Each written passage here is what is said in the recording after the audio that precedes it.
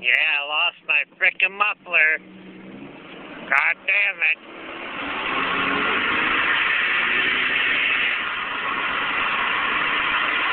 Listen. That's my horn. Showers,